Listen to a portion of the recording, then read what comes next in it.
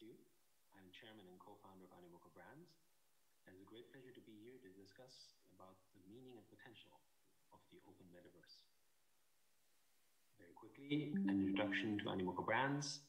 The company basically really focused on building the open metaverse. Today we have over 150 investments in everything related to NFTs and open metaverse, as well as constructing our own projects such as the Sandbox or REVV or GAMEE or Tower, all of them basically contributing towards an open and shared Web3 space known as the metaverse. But let's quickly talk about what the metaverse is. In some ways, we have to thank Mark Zuckerberg for Facebook after they rebranded themselves to Meta. They've basically put the term metaverse into everyone's lips. And now Microsoft and of course game companies and even you know companies like Dropbox are all talking about the metaverse. So, what in fact is the metaverse? The metaverse can be defined in one of many ways, but I would say there's a distinction between what we can call the true metaverse versus what we consider a closed metaverse, which I'll go into later. But let's take a look at the state in which we are currently in. Most of us are already spending all this time online already. When you consider the number of people that are spending online, you know, 80% of them are online daily if you think about the first thing you do in the morning, what do you do? Probably open up your mobile phone and take a look at that. So in a way, you're already engaged in an online activity. And when you take a look at, for instance, you know, all of the various kinds of social media or tools or applications you use, there's a good chance that when you add it all up, you're probably spending many more hours on these platforms than perhaps maybe even with some of your physical interactions. And when you take a look at the gaming industry as a whole, actually most of the world is already playing games on a regular basis and they're existing in a kind of metaverse. So you could actually argue that we are existing in a pre-metaverse world today already, where perhaps most of our time is spent online. But the key question around what the real metaverse comes to is actually who owns this metaverse? And who owns your digital life? And actually what happens to all the data that is generated there? Which brings me to the next point, and perhaps one of the most important things about how we define the open metaverse, which is that the most valuable of resources on Earth today isn't actually oil or natural resources that you dig from the ground. It is, in fact, data. When you consider, for instance, the kind of influence that the large platforms are able to generate from the data, it comes from the fact that we're the generators of this data, the world's most valuable resource is in fact coming from each and every one of us. We're the creators of this data right now. And they come from our time and our idea space. Every time we use Facebook, every time we use WeChat, every time we use any online service in the world, we think that we're there for free and we enjoy the benefits for free. But in reality, we're giving our time and therefore our data. And what in fact do you own when you're in those spaces? In fact, what happens is, is that you don't own anything because your time and data is being spent online. And then actually these blocks of information are turned into knowledge through the massive network effect that is being generated because data by itself is not very valuable to us today. I could download all my photos and it would be interesting, but I don't know what to do with it. It's not that different if a thousand years ago we were discovering oil in a property. We wouldn't know what to do with it. It's not very valuable in and of itself. But because of technology, we can actually take the oil and turn it into a valuable fuel that can be used in things like cars and other industries. And therefore, that is valuable. We've created the machinery to create some benefit out of the oil. With data, it's the same. We can have all the data in the world ourselves, but we lack the ability to turn the data into valuable network effects. This is basically what companies like Facebook or Tencent or Amazon or all those companies are able to take our data and what's interesting is that when they generate that data, which we give to them for free, they create the powerful network effect that they then sell back to us in the form of advertising and other types of services that we ourselves perhaps don't fully appreciate, that they may know even more about us than we know ourselves because we willingly give up our data. And the result of that, of course, is that the biggest companies in the world today are all data rich companies. You know, whether this is Google, whether this is Microsoft, whether this is Apple, these are the kind of companies today that have control of our data and as we use it every day, make the platforms more wealthier. In contrast to when you take a look at, you know, some 10, 20 years ago, the biggest companies were not technology companies because they didn't have the data as a resource. It was in fact actually, you know, the other kind of resource, which is mostly oil and energy back in the day. And so what we have today is a kind of, you know, pre-metaverse world, if you will, that is basically controlled by these data silos, these digital kingdoms, you know, whether this is, you know, Microsoft or Facebook or Google or Tencent, you know, these amazing companies that have done really, really well. But what has made them powerful is the fact that we have given them the data and they've created these silos. And the silos, the data ownership, the network effect of the data they generate is actually how they control their particular metaverses. So when Facebook talks about, you know, creating the metaverse, they're talking about a metaverse that actually is controlled entirely within them and within their particular walled garden where we have no rights.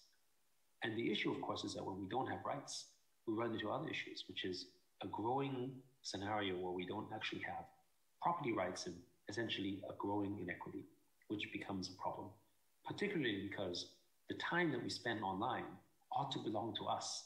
And in fact, in the real metaverse, we should own our time. We should own our digital property rights, which I'll get to shortly. So this is why technology such as blockchain, Web3, and the metaverse, we think is so powerful.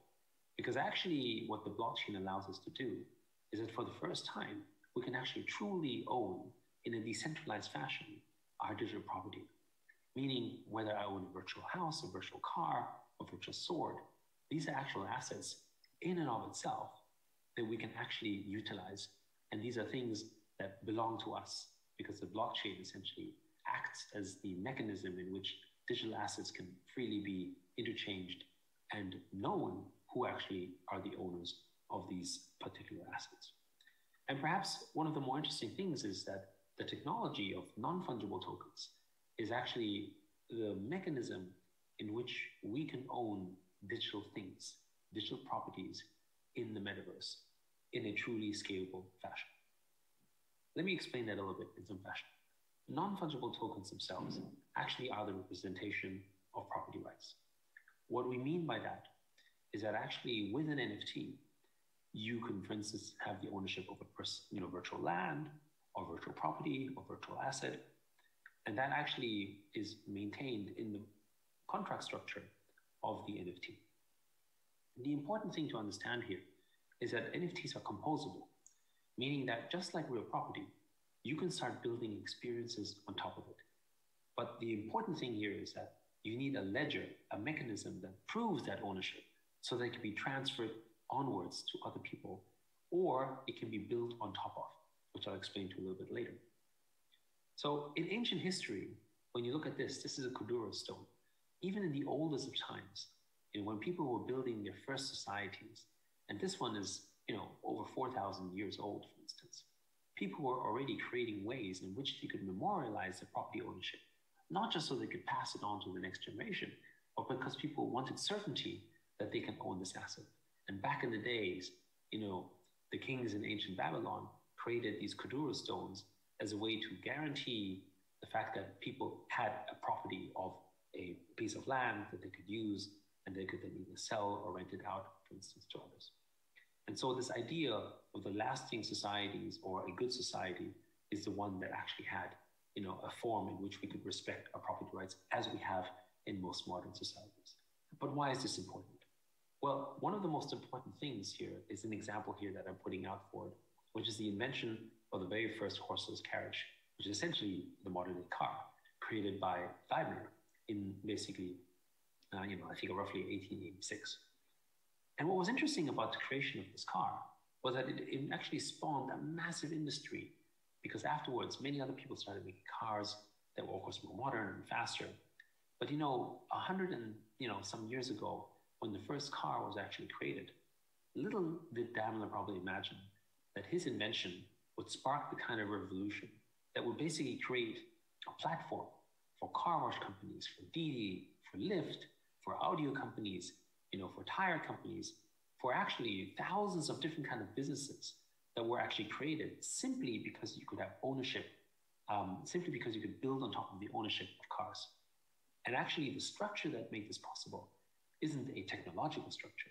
It isn't the fact that the car could move. Yes, it was an interesting invention, of course, and very valuable. It was the fact that people had decentralized ownership of cars, that people can now build new experiences and services on top of these car industries because you could own those cars. And it is the property rights of these cars that allowed for the formation of this. Because if you actually couldn't own the car, then something like Uber or Lyft or Didi couldn't work. If I actually weren't able to own a car, I could actually not purchase a car.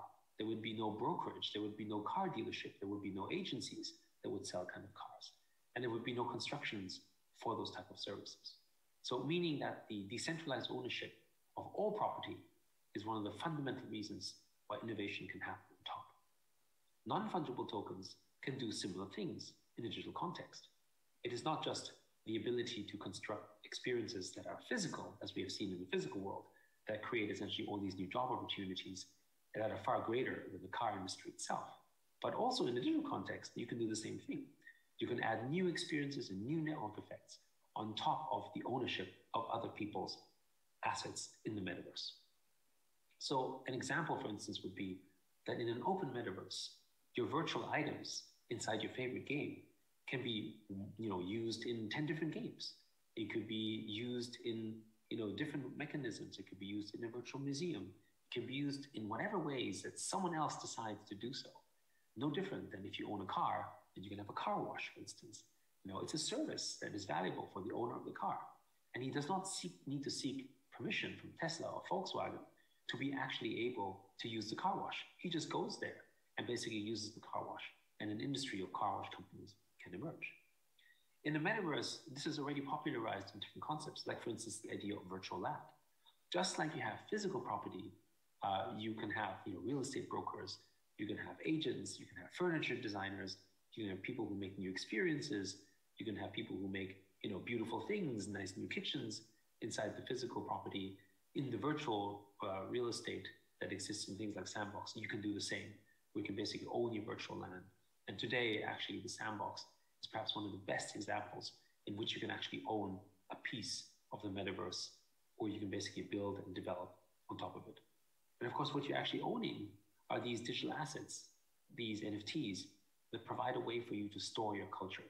Very similar to a wedding ring you know, the wedding ring in itself is not terribly valuable, but it is very special to you because it embeds with it your personal culture or the culture of your family. And these are things we can now do and store digitally, something that we couldn't do before because we always needed to seek permission. And one of the other amazing things that's already happened in this space is the ability to actually create new jobs and new opportunities. So, for instance, in this phenomenon with play to earn, because you have digital property rights, people were basically creating ways in which you could rent the assets. And these assets could then be rented to players in places like the Philippines or Venezuela or Indonesia, who would then create jobs out of the ability to generate new metaverse employment, essentially in games like you know Axie Infinity or maybe even the Sandbox or REVV Racing and so on. And they're actually making real incomes from this, and it's changing their lives and bringing them out of bringing them very much uh, out of out of you know poverty, especially during times of COVID where they can't actually get job employment. So I want to give you an example here as uh, you know uh, a demonstration of you know an example of the kind of person who is working in the metaverse, and you can see that he's not actually playing one kind of sort of um, metaverse game. He's actually playing many different games and making an income and yield optimizing. And what's interesting is, is that it's actually not that different when you think of it as a gig economy worker who basically might be a teacher during the day, might be a driver in the afternoon, or you know, basically taking multiple jobs.